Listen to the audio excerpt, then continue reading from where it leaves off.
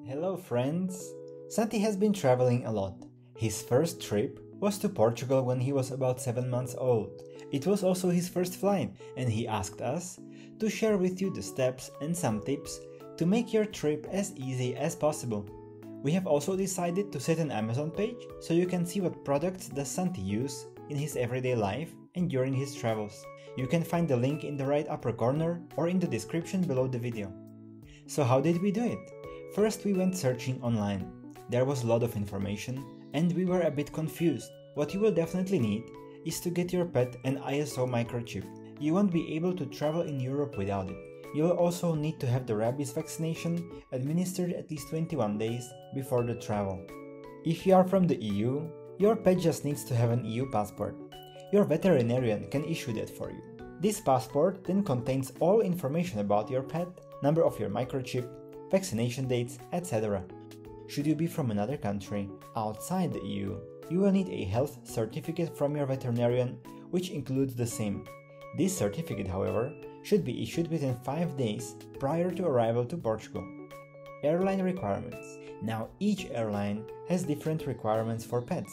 TAP Air Portugal allows dogs which are at least 10 weeks old. If they travel in cabin, they cannot weigh more than 8 kilograms including the carrier. And as for your dog's carrier, the official maximum dimensions are 40 to 33 to 17 centimeters.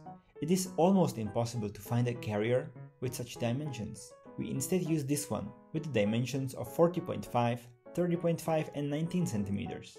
So it is very close to the actual limit and no one else will really measure it. Making the booking. When making our booking, we have chosen the possibility to have a seat with more legroom, which was also near to the boarding doors. But it turns out the standard legroom seats are fine too. We took those on the flight back. Unfortunately, with TAP, you cannot pay for your pet online and have to call their service line. They will ask you about the breed, age and weight, and the carrier dimensions. Now, if your carrier is slightly bigger just like ours, tell them the allowed dimensions. It will be easier and they won't check it at the airport again. The payment is with a card over telephone. We recommend checking with the customer service prior to purchasing your ticket whether there is allowance for dogs on board on the particular flight you want to take, since there is a limit on how many dogs can be in cabin each flight. Taking an afternoon or an evening flight is your best option. Your dog will be naturally tired the later in the day it gets. We had a 6 hour flight, but altogether with the time at the airport, it could be almost 9 hours. At the day of the flight, we gave Xanti a slightly smaller ration in the morning and did not feed him during the day again. We also rationed his water intake a bit during the day so that he won't drink too much. Just before going to the airport, we had a long walk and then we washed his feet a bit so he smells nice and is clean. It's great to take some pet food with you and also some water for the flight. Oh, and don't forget about a pee pad or two. We also recommend bringing some wet tissues. Arriving at the airport, we did the check-in first. You must do that even if you do not have other checked luggage. That's because they want to check your pet passport and they will weigh the carrier with your puppy inside it. It takes only a couple of minutes and you are ready to go. After that, we recommend having another short walk outside the terminal building and then head to the security control. For the security check, you will have to take off your dog's harness and collar and take him in the hands.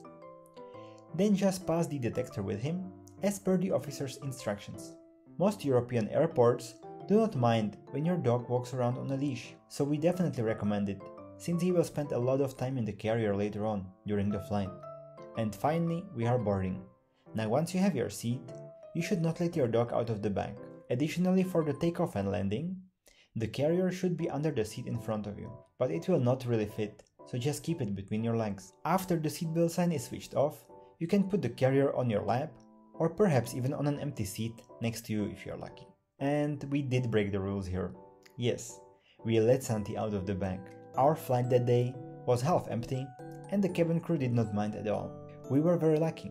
On our flight back we were not allowed to do that anymore, so we at least put a hand in the carrier to pet him. But don't worry, as long as you have something like an antler to keep your dog occupied, he will be just fine. Also, mid-flight you can feed him and give a bit of water. Once you arrive in Portugal, if you are coming from the EU, you will just pass right through and exit the airport. Should you be coming from outside the EU, a brief veterinary inspection will be necessary. But since you already have all the documents in check, it will be fine. And done. Bem-vindos a Portugal. It might feel a bit overwhelming, but flying with your dog is really no big deal at all. Thanks for watching! Hope you have a good flight and see you again soon!